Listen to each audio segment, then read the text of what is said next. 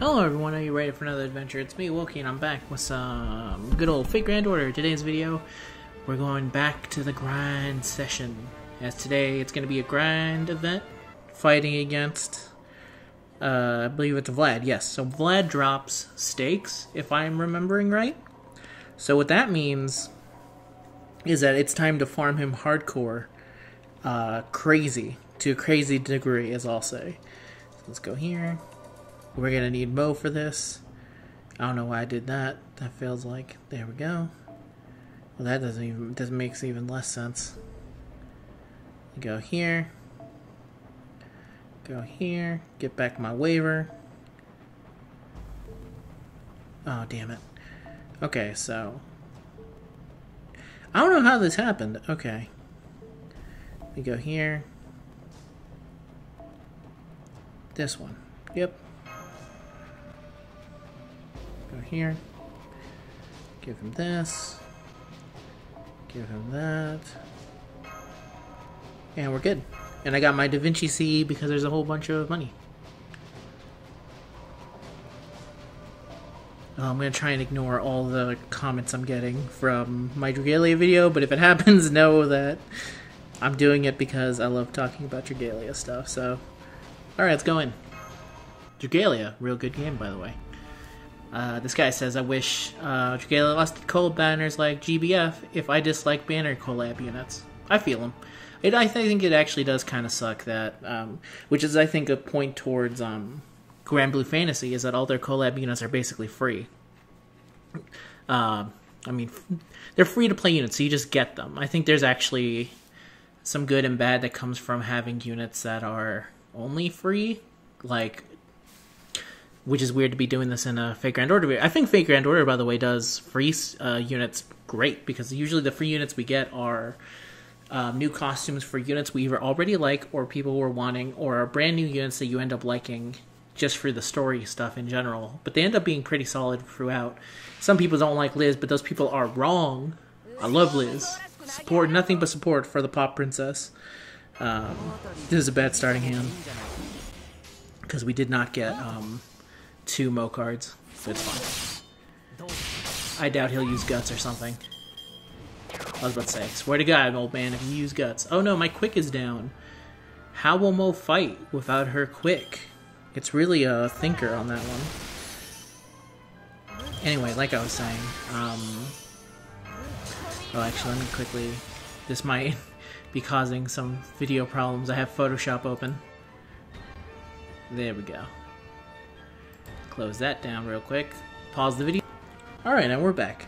Um, yeah, I like the way Fate does their free characters, because either they're super good or they're characters that you really like. Like, um, or they're based off five versions. Like, the free summer unit is always, like, usually the most popular girl for that year, the for the previous year. That's usually how they do it.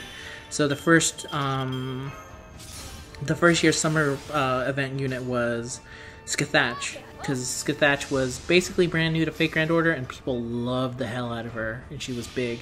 The only one I want to say that actually legitimately breaks the cycle, and then the next one was um, Ishtar. People love Ishtar, and uh, for good reason too, because um, she looks exactly like Rin. Not because of her personality, it sucks, but she looks damn good, and she can occasionally be really fun, actually. Not to harp on the waifu too hard, but um, what was I talking about? And then the other one is Jalter, which is a Berserker Jalter that does the Hiei move from um, the Hiei move from Yu Yu Hakusho. That already makes her the uh, uh, Dragon of the Darkness Flame. There you go. That's the name of it. Fantastic unit. And then the next one is the Foreigner Girl, which I can't remember the name of right now because it's super crazy Japanese. So I just don't know it. If I actually had her in the NA side, I would remember her name. The one who made the ukiyo paintings, I want to say. But yeah, I like the way they do free to play units. I can understand, especially if they're a collab. You kind of want the collab unit, you know. To be fair, um, it kind of sucks because there's totally people who walk into a collab uh, collab event and don't have the and leave it without the collab unit, and that sucks. That honestly really does suck. Um, I think in general, uh, if you're gonna do a collab event, you need to have at least one unit that's free. I think that's pretty good. And it just so happens, unfortunately, for the Fire Emblem Heroes events, it's always characters from Fire Emblem Heroes. If you're like me and you don't and you like them good enough, then you're perfectly fine with them for free. But some other people are like, I wish Marth was free. I wish Tiki was free. I wish it was like literally anyone else. But hey, what can you do? Did I even check to see if I got any damn? Um, I did not check, by the way. I'll check this one if I see if I get any stakes. See if it even if it even drops stakes. By the way, she should be able to kill him this turn. If she doesn't, I'll be actually kind of surprised.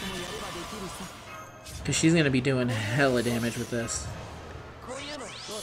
Stop me if you heard this one before. Waver, a Buster, and Merlin do a lot of damage. It's the cheapest move, I know. But, hey, it's not broken, don't fix it, is what I say. Now let me tell you, this is broken and they've chosen not to fix it, so whatever. It's only a shame that Arts only has Tamamomo, who is not as good as... She's good. I'm not gonna lie and say, like, oh, she's terrible, because she's not terrible. She's a great unit. She's just not on the same level as Waver, Merlin, and um, Skadi. Oh, I just realized someone, um, I just did it. I called her Skatach. That's, that's not how you say her name. It's, uh, Skahak.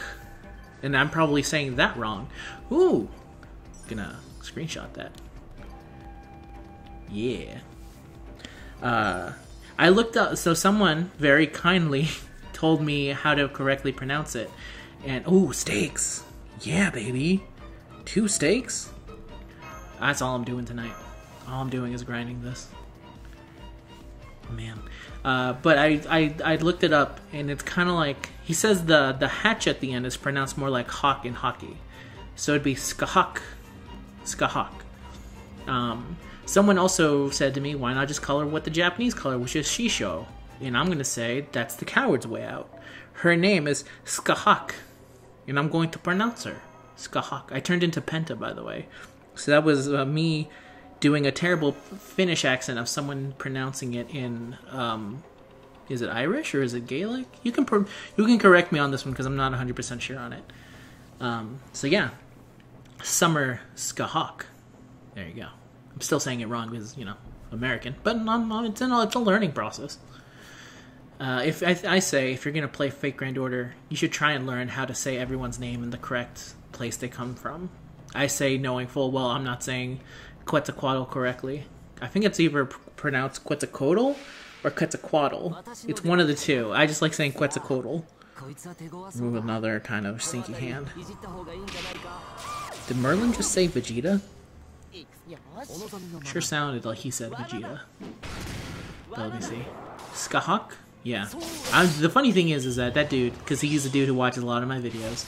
Forgive me for not remembering your name right now just because I'm so tired because I just it's late as hell. Really? This is the shootiest hand I've ever had. Um You'll pronounce me. And then eventually you'll tell me like, "Oh, uh, you're getting on the right track." You're kind of right, but also you're still wrong. But hey, there we go. Rome wasn't built in a day. And so my language will not my language learning will not stop just because I screw up occasionally. What is failure but just a, the process of learning? If you don't fail, I mean, if you don't learn, then you're not failing. And if you don't fail, you never learn. There you go. Put it on your tombstone, everyone. Wokey said this. If you die, that's game over, bro. But if you learned from the failure, then at least you learned while you died. What, what, what? I am no king, but I follow the king's path. By the way, have I mentioned before how much I'm kind of bummed out she doesn't always say, Behold the sword that killed my beautiful father? Because it really was my favorite thing about her old Noble Phantasm, was that she said that to every single opponent.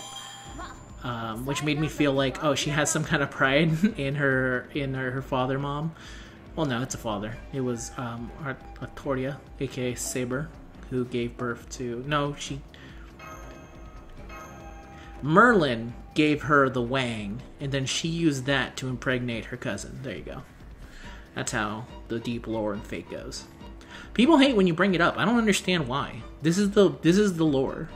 People also don't like it when you bring up the semen bullets from Fate Zero either, from the story version, from the book version.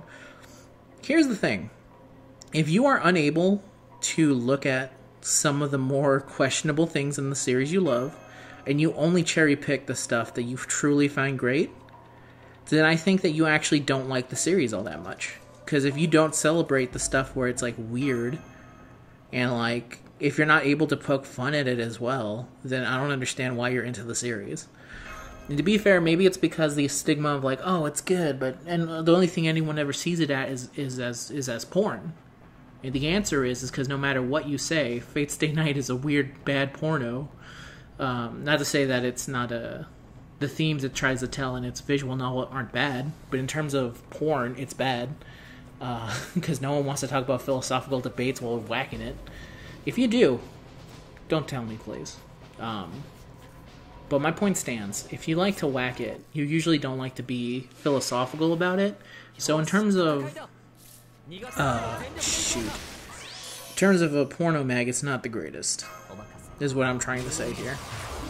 It could be better.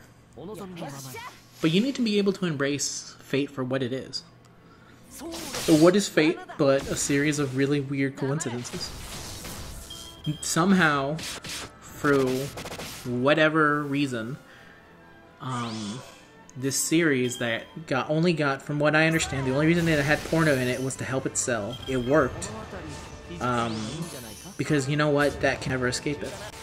What's the number one requested feature in Fate Grand Order? It's they want the ability to fuck your servants. So it's not like you're never gonna escape it. So it's better to just embrace it, and if you just hate it so much, then I would suggest you just leave it.